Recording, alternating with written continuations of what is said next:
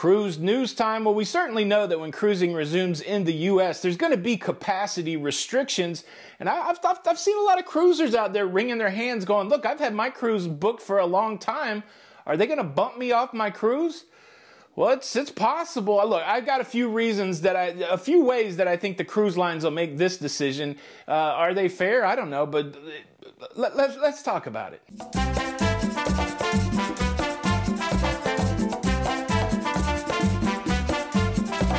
Hey, hey, hey, what's up, everybody? Welcome back to La Lido Loca. I'm your host, Tony, here with the latest cruise news updates. First, welcome to the show. And yes, don't adjust your TV, it looks different. We're on the road, Loca on the road. This is my mom's house. So, uh, yeah, you're, not, uh, your TV's not broken. I got a cruise news story that I want to talk about, and then we will move into this conversation about capacity.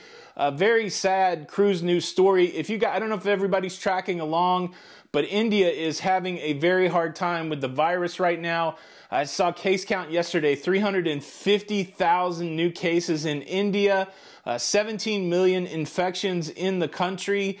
I've watched a lot of news coverage. They're, they're struggling uh, for hospital beds, they're struggling for oxygen.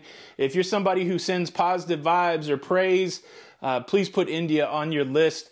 Uh, in, in, the wake of that, Royal Caribbean had to make a decision to cancel the contracts for cruise workers in India, which which makes sense. I, I, don't know what else they could do. There's no way they could bring people out of that country and put them on cruise ships. So that that's the cruise news. Uh, the other cruise news that we've been talking about it here and there. We're talking about capacity on cruise ships. I mentioned in the show yesterday that uh, the next phase of the restart of cruising in the UK, they're limiting capacity on cruise ships to a thousand passengers or 50% of the capacity of the cruise ship. And this isn't new. Like when we've seen cruising start in the Mediterranean, when we see cruising start in Asia, we've seen these numbers 50%, 60%. And so certainly when cruising starts in the United States, there will be a capacity restriction. And it begs the question, and I've seen it several times in the comments, how are they going to decide who gets to stay on the cruise ship? I got uh, three or four, maybe five good reasons. We're going to talk a little bit about fairness. Hopefully we, we do that in a way that's that's fair. But before we get into the reasons, let me quickly invite you to subscribe to this YouTube channel. If you enjoy staying up to date on everything that's going on in cruising, please consider subscribing with the notification bell. That way you don't miss out on any of these episodes. Okay, cruise lines do they have a moral obligation to be fair? That's interesting. Should business be fair or should business be business? How will they make this decision? Now, the first thing that could be true, and, and I've talked to my lovely wife, travel agent extraordinaire, the beautiful Jenny, and I said, Jenny, what are the cruise lines doing? And she said in many cases, they are limiting capacity, like the, the new Mardi Gras, for example, that's coming out. They're not overbooking that ship. They're not filling it all the way up to capacity. So one thing that the cruise lines are smartly doing is where they can. I, uh, we believe that they're already limiting capacity, but then there's other situations where crews may have been on the books for a couple years, and who knows what the capacity is. Maybe there has to be a readjustment.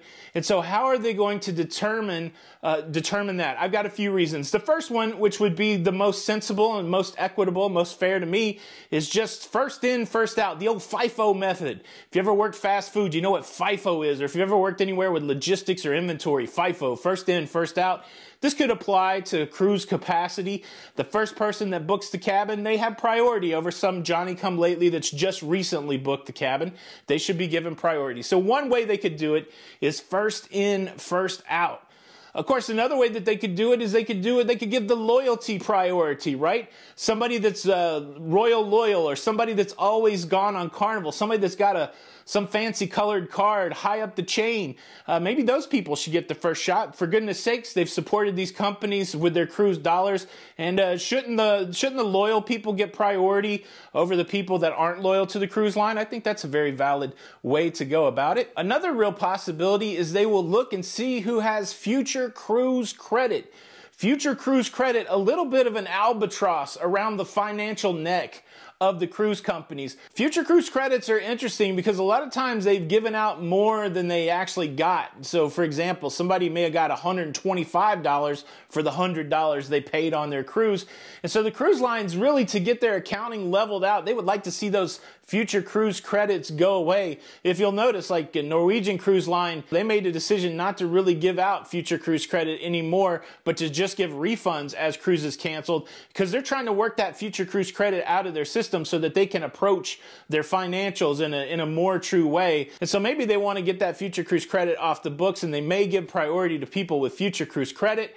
The counter argument to that may be, though, uh, cruises in the future, as the supply of cruise cabins are low and the demand for cruise cabins are high, that means there's going to be higher prices. So, another future cruise credit strategy could be uh, to not give priority to the future cruise credit people. That way, they have to book higher priced cruise cabins to make up for the extra money that they gave. That that could be another business play. Now there is also another business strategy that I do think the cruise lines are using on some level. I'm going to save that one until the very end. Let me sneak in this one here though. There could be a big spender priority. There could be like a Daddy Warbucks, the Monopoly man priority. And, and all I'm saying here is whoever spent the most money on their cabin, well, let's keep those cabins, right? The cruise lines are trying to make as much money as possible during the restart because they've been over a year without any real revenue.